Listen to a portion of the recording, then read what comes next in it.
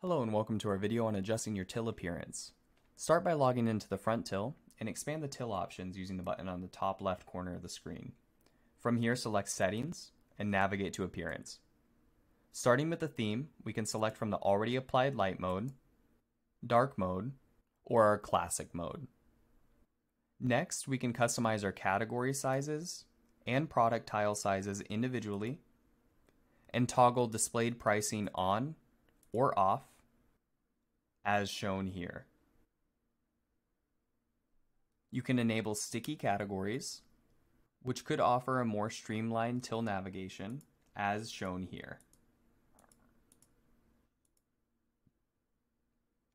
Last, we can adjust the action button layout from a single row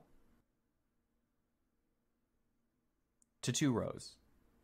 Action buttons are quick ways to do things such as add a miscellaneous product, print a receipt, or ring a no sale.